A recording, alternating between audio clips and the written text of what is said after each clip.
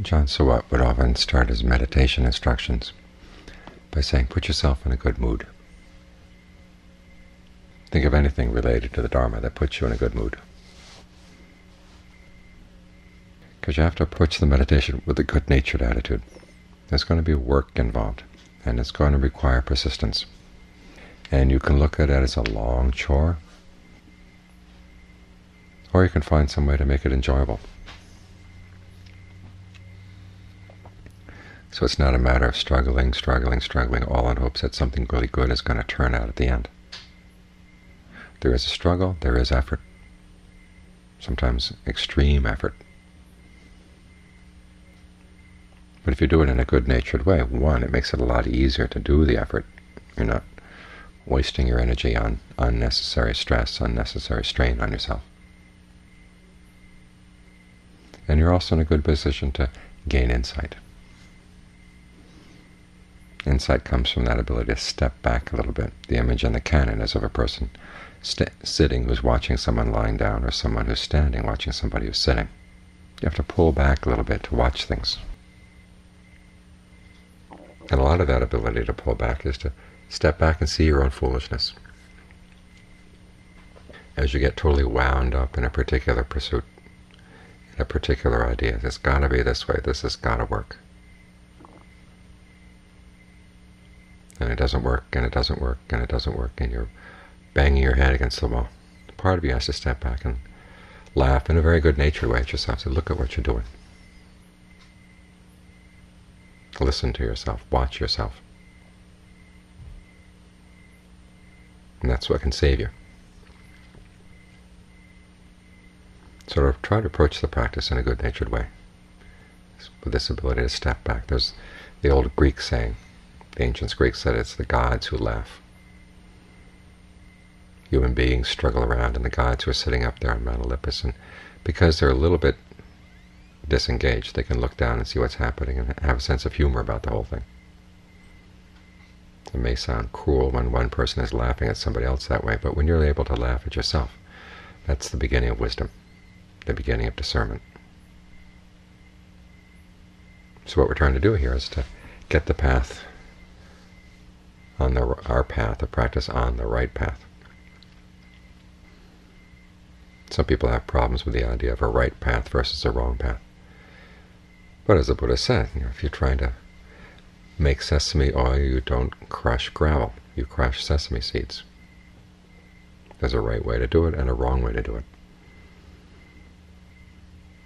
Ajaan Fuang like to point out two implications of the word samma and the right path. One is that it's consistent. You stick with it over time and the other is that it's just right. Not just right, not only right, but just right. Your concentration is just right. The amount of effort you put into it is just right. And how are you going to know what's just right? Well, you have to experiment. You have to learn how to listen both to your body and to your mind to see what the warning signals are for when you've gone too off, far off to the left, too far off to the right. And again, that takes that good nature attitude that can step back a bit and just listen. Come to a conclusion, test the conclusion. And if it wasn't right, well, listen some more, experiment some more. Ajaan Lee talks about the factor of alertness in the practice. Compares it to a rope over a pulley. Sometimes you pull it one direction, sometimes you pull it the other direction. His meaning is that sometimes you focus most of your attention on the breath and sometimes you focus more of your attention on the mind. For example, when you're working with the breath, if you find it intriguing, if you find it interesting, and it's enjoyable to work with the breath, go ahead and do it. But sometimes you find that it starts getting frustrating. You want to make it better and better and better, and it doesn't seem to be getting better.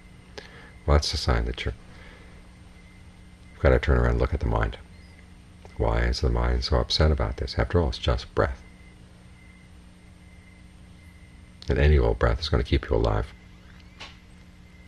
And learn to be satisfied with what you've got. So this seems to be as far as it can go right now. Okay, be willing to settle down. And you're not the princess with a P. You're just here to get involved in the present moment in a way that's pleasurable. Because the factor of pleasure was what allows the mind to stay concentrated, to stay happy here in the present moment. And if your efforts to adjust things, to make things just right, make them just perfect, goes out of bounds, well, you've you've missed the purpose of the whole exercise. So you back up a bit. Stay with the breath for a while, and then sometimes as you stay with the breath, you begin to sense things you didn't sense before, and you can make a little more adjustment again. It's entirely up to you. You're not doing this to please anyone else or to measure up to somebody else's standard. You're here to make the breath as comfortable a place as you can right now. So it's good enough to settle down. And it's up to you to decide what's good enough for settling down. Important thing, once you settle down, then you stay there for a while. Try to let your awareness spread. Even if you can't spread the comfort of the breath, let your awareness spread around the body. So you have a sense of the whole body as you breathe in, the whole body as you breathe out. That's what's important. Because sometimes the best way to make the breath more comfortable is simply to watch it continually. It's like the quality control person in a factory. The cloth is running past that they're supposed to watch, and if they move their eyes away from it even for a second, they, they can very easily miss some problems in the cloth. So they have to keep a steady gaze on the cloth, and that way they're able to check whatever is wrong, simply by the steadiness of their gaze. So sometimes as you want making the breath more comfortable, simply a, a function of how steadily you watch the breath without you having to think about making it longer, making it shorter, simply being steady with it, it becomes almost automatic the breath begins to adjust. And that way you move to the next stage where you don't have to think about evaluating the breath or bringing your mind to breath because it's right there. You're there with it. And the quality of the mind, which used to seem like music, which had a phrase and then would stop, and then another phrase and stop. In other words, you'd be with the breath for a while and then sort of blur your awareness a bit, and then come back and be more clearly with the breath, and your awareness would blur out a bit, and then which would come in like like phrases, as I said. The phrases stop, and it just gets one continuous long ride down the breath through time. This is where the mind becomes really one, and you didn't have to think about when you were going to stop evaluating the breath. It just seemed like the right thing to do. This comes from learning to listen both to the body and to the mind. That pulley that, that Ajaan Lee talks about is checking the mind, checking the body. And because they're right here together it doesn't mean you have to swing way back, back and forth. The breath is right here, the mind is right here.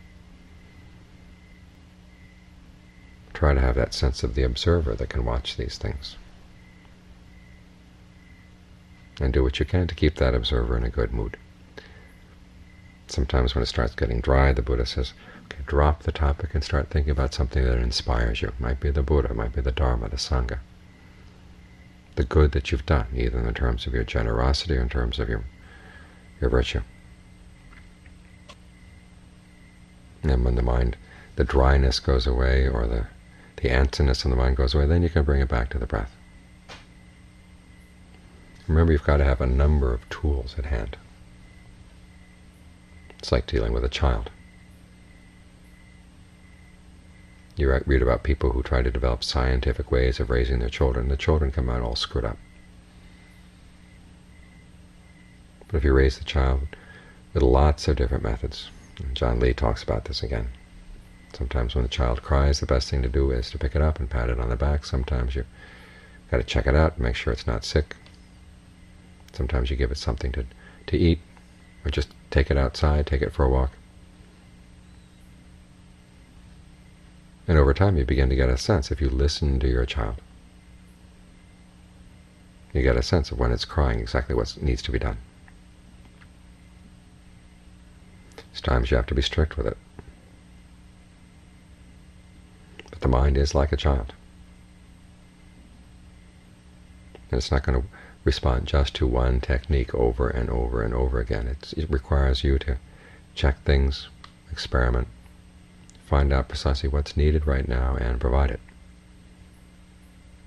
And continue to do it in a good-natured way. That's one of the skills that we seem to lack most here in the West. We have all sorts of conveniences so that things get done fast, fast, fast. And we've never learned how to commit ourselves to something that's going to take a long time. It may not be easy, requires a lot of work, but learning how to talk ourselves into doing with a sense of pleasure, with a sense of good humor.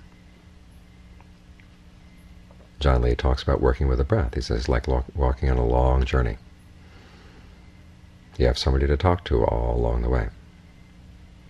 In other words, you work with the breath here, you work with the breath there. As long as you do it in a friendly way, it's, it's enjoyable. You can stick with it. As he says, long journeys seem shorter that way. But if you're constantly fighting along the, during the journey, then it, then it becomes the other way around. A short journey seems long.